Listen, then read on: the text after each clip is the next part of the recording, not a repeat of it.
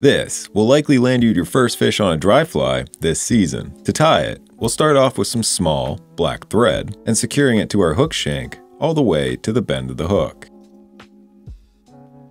Once we reach the bend of the hook, we'll reverse our thread's direction back up towards the head of the fly, keeping your thread buildup as smooth and uniform as possible.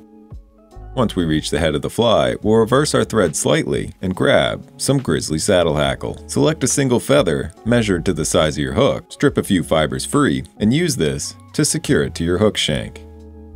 Bring your thread back up to the hook eye and begin to hackle your feather forward until you reach your thread, typically about 2 to 3 turns. Secure with your thread and snip the excess free.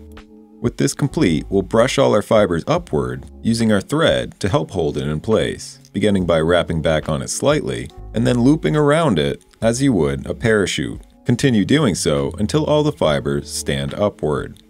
Next, we'll take our thread and carefully run it through the fibers to help spread them back out, as well as increase the fly's durability finishing with your thread just in front of our tuft. Next, we'll grab a high-vis parapost, here I'm using fluorescent green, and secure this just behind our hook eye.